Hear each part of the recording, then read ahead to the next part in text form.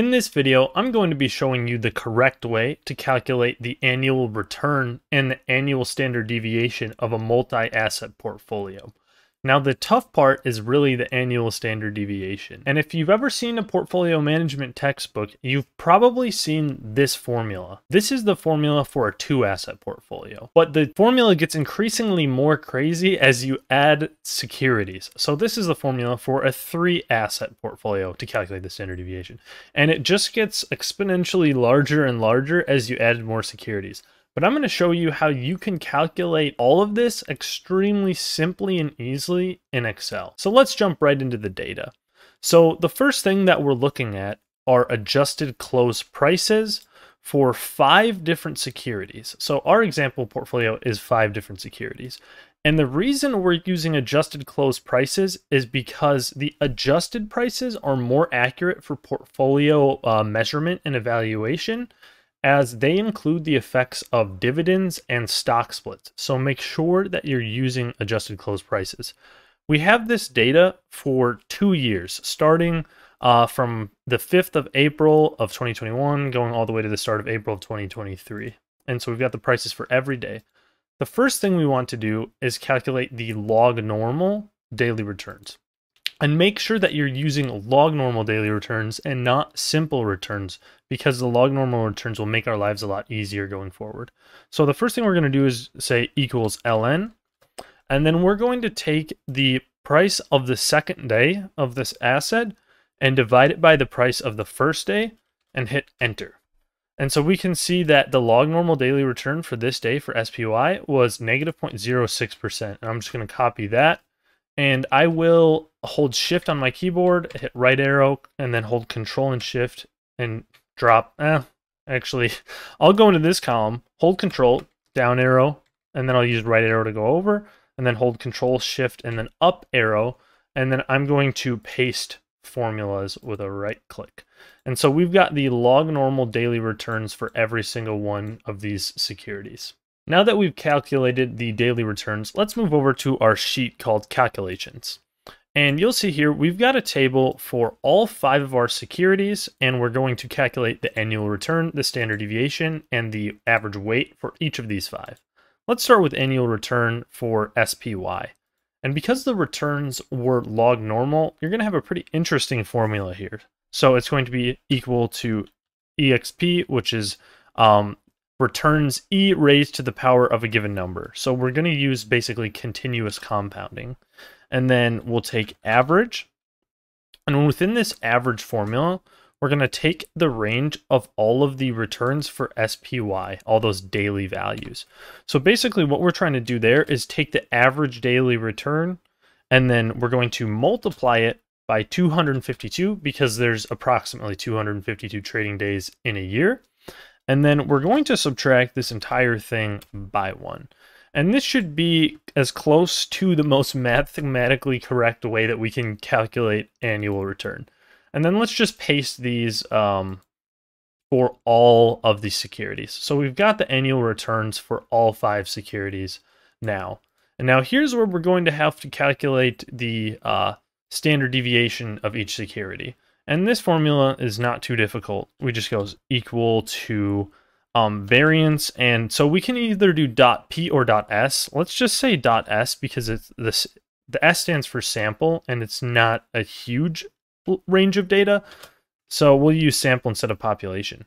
And then we're going to grab the same range as previously. So I'll just uh, select the first um, return for SPY, hold control shift and hit down arrow.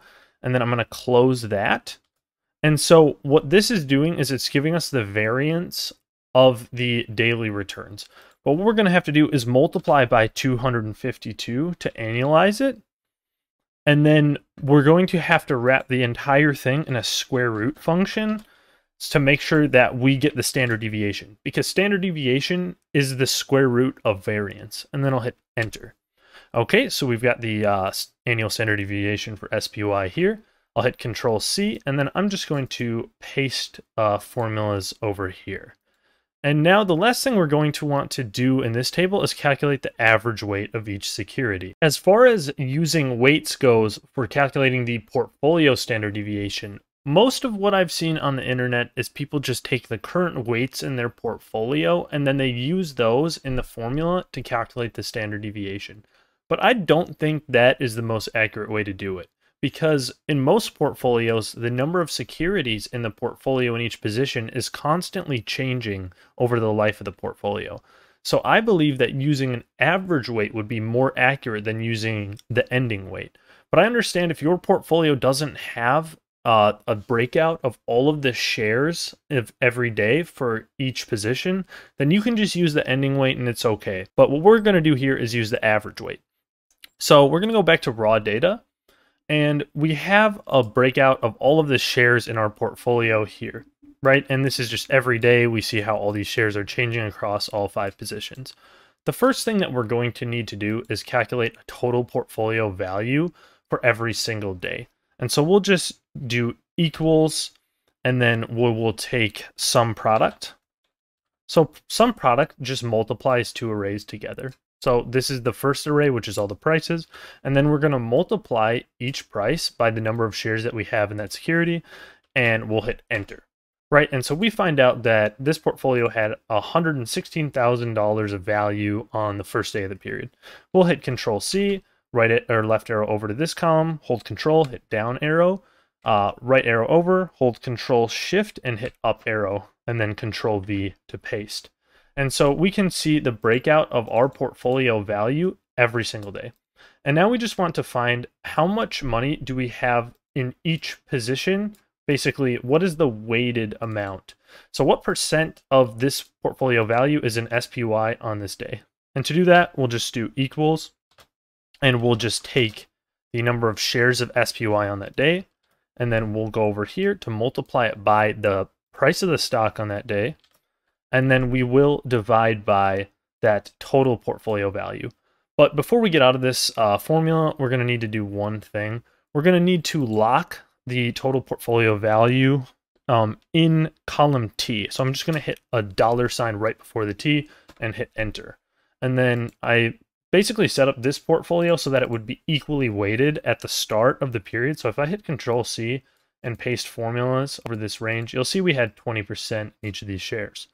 But um, now I'll just hit Control C and I'm going to go over here, hold Control, down arrow, right arrow over, hold Shift to highlight the whole range, and then hold Control Shift and hit up arrow, and then Control V to paste.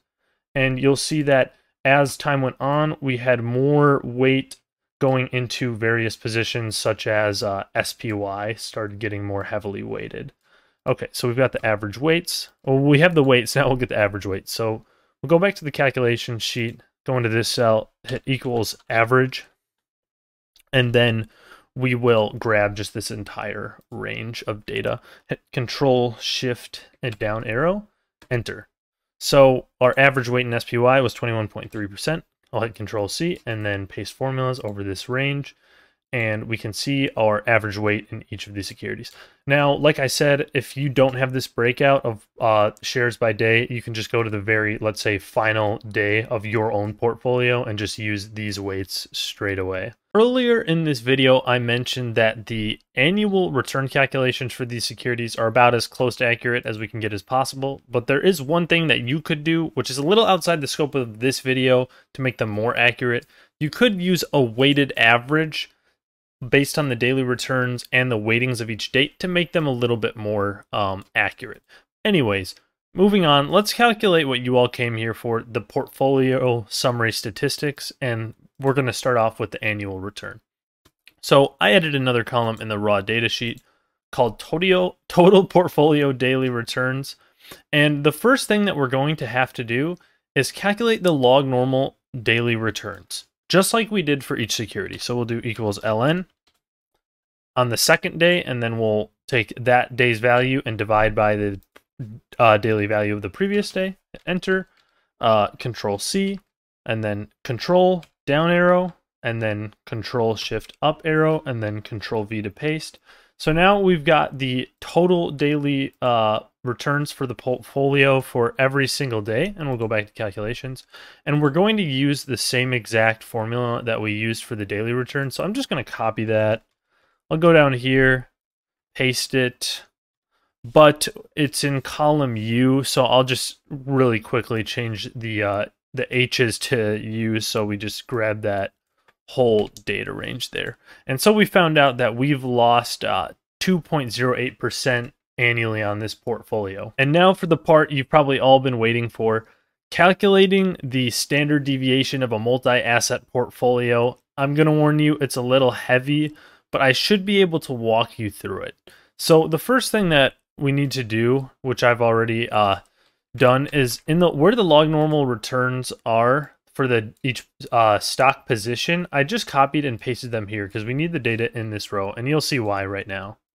So we're going to have to create a covariance matrix right here. And to do that, you need to go to your data tab and make sure that you have in the analyze tab the data analysis pack available. If you don't see this, go to file, options, add-ins, and then where it says manage Excel add-ins, hit go and make sure that you check the box for analysis tool pack and hit OK. So once you've got that, let's go to the data Analysis ToolPak and hit covariance. OK. And so the first thing we're going to need to do is input our data range. And that's just going to be our log normal daily returns. And we'll grab this whole range right here, control shift down arrow, and just grab all of the returns. And then we need to make sure that we've checked the box labels in the first row because we put labels in the first row. And then for output range, we'll just select uh, whichever cell we want. So I'm using B13 and hit OK. And so now we've created our covariance matrix, which just tells us the covariance between each of the five um, assets in this portfolio. So using this number, for example, this is the covariance between BND and SPY. And this one is the covariance between GLD and SPY. But one thing you'll notice is that if we go this way, these are the same uh, matchup, so BND, SPY, GLD, SPY, as we saw here. So we're going to need to populate all these values. And we can do that using Excel's inbuilt transpose function, which is an array formula. So we type equal, well, actually, before I type this, I need to select this whole range like that. And then I'll type equals transpose, and I'll just grab all these values, and then I'll hold Control Shift Enter. So remember, Control Shift Enter because it's an array formula. So that's how you get to spill over from this cell to the next ones. So let's do the same thing here. Equals uh, transpose, and then we'll grab these values here. Control Shift Enter. Once again, equals transpose. Control shift enter. And for this one, I can just make it equal to that value. And there we go. We have our whole covariance matrix. We are ready to calculate uh, portfolio standard deviation. And I'll warn you, this is a bit long formula, and I'll try to explain each part of it as we go through. So first thing we're going to do is type equals square root. Because what we're putting inside of this square root function is going to be calculating the variance of the portfolio. And like I said earlier, the standard deviation is the square root of the variance. Okay, so that being said, we'll use the M or mult formula, which this basically multiplies two arrays together and returns their product. And we're going to use the M mult formula again. Like I said, I know it's like it's a little bit overwhelming this formula, but uh, trust me, the math works. I've verified it in Python. So I'm going to grab this whole range here, which is the weights, and then we'll hit comma and then we'll grab the whole covariance matrix. So what we're basically doing is multiplying the weights and the covariance matrix. Okay, so we'll close that with a parenthesis, then we'll do comma, transpose, and once again, we're grabbing the weights, and then we're going to multiply all of this by 252 because we're looking at daily values, so we want to annualize it. And then we will just close that function. And there we have it the standard deviation of a multi-asset portfolio in Excel. Just a walk in the park, wasn't it, guys? So easy. Right. Anyways, I hope you enjoyed the video, and thank you for watching.